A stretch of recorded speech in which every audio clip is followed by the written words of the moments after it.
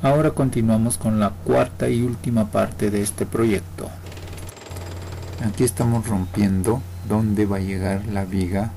Hemos realizado el agujero para la zapata donde también hemos aprovechado para instalar una cisterna.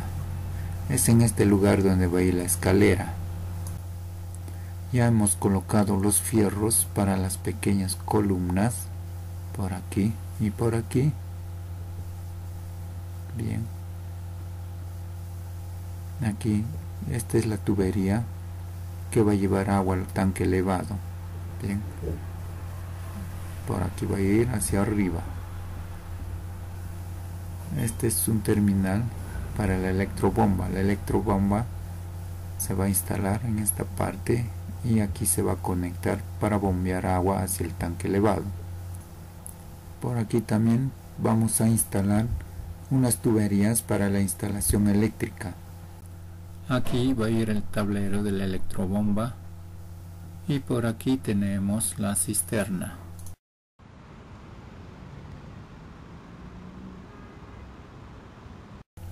Bien, entonces por aquí vemos cómo se ha realizado el encofrado de las vigas, los pasos, etc. También la colocación de los fierros. Aquí estamos vertiendo ya el concreto para ya finalizar con este proyecto que estuvo bastante interesante. Sí.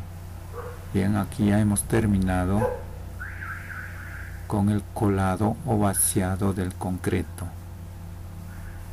Ok, todo está saliendo de acuerdo lo planeado. También por aquí tenemos a nuestro supervisor dándonos el visto bueno y por aquí ya tenemos nuestra escalera desencofrada. Todo salió muy bien. Fantástico.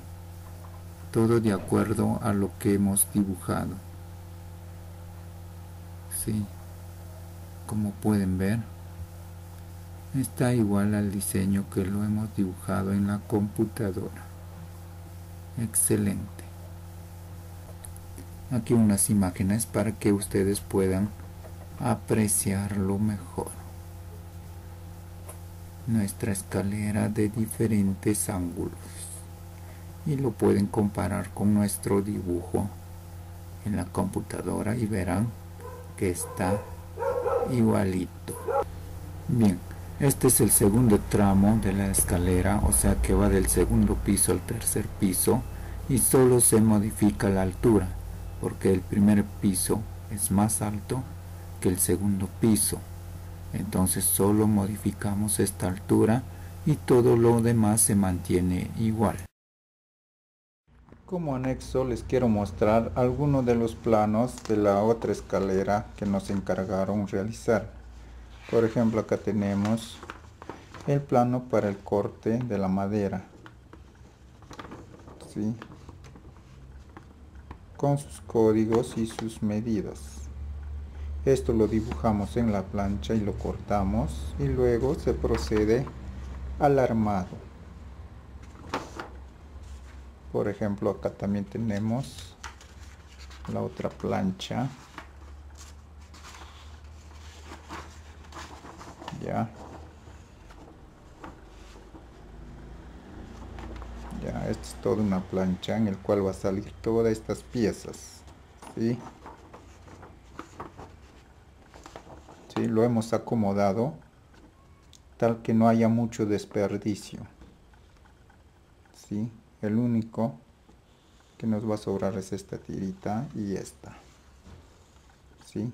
que es muy poco bien acá tenemos la otra plancha para las otras piezas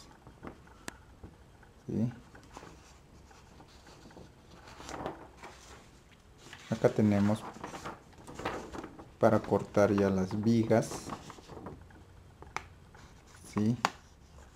por acá con todas sus medidas como ya les mencioné en milímetros ¿sí?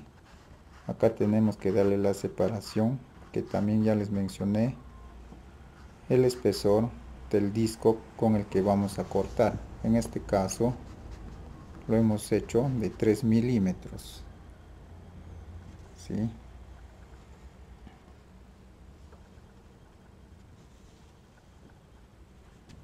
ok. Por acá todos los detalles no acá va un chaflán acá va otro. Y cómo cortarlos sea midiendo en milímetros o en grados ¿sí?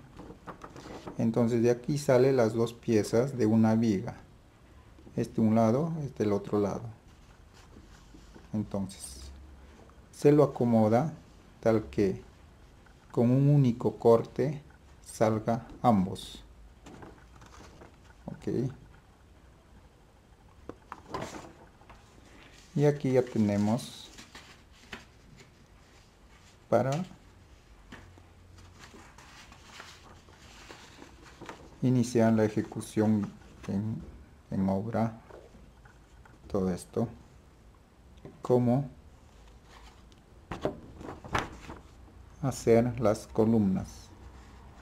Todas sus medidas deben de realizarse perfectamente igual como está en este plano.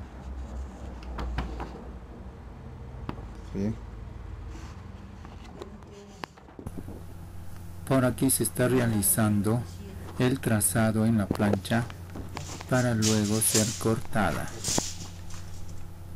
Se debe transferir todo este dibujo a la plancha y luego cortarla.